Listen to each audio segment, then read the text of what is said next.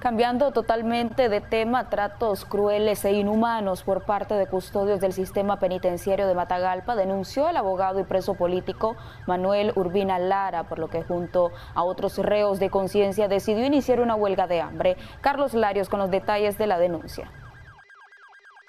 El abogado y preso político Manuel Urbina Lara, junto a otros reos de conciencia, decidieron iniciar una huelga de hambre en el sistema penitenciario de Matagalpa en demanda de que terminen los tratos crueles e inhumanos ejecutados por los custodios de ese lugar.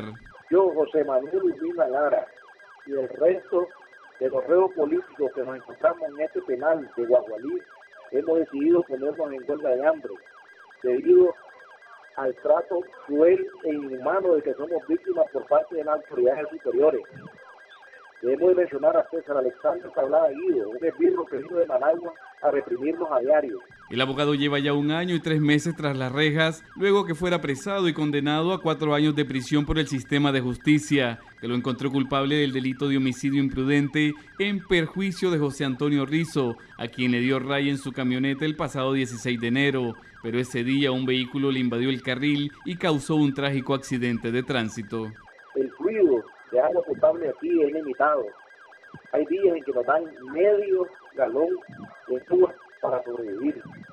Y si a esto sumamos todas las arbitrariedades que se cometen contra nosotros, e incluso nos han robado nuestra propiedad intelectual, nuestros temas, nuestras canciones, nos reducen la alimentación, nos, nos han negado eh, eh, la recreación, nos han negado el sol, nos han negado todo.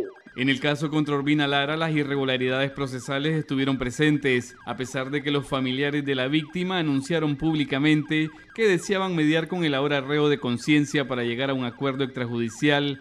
El juez y el fiscal de la causa hicieron todo lo posible para evitarlo. Informó para Acción 10 Carlos Larios.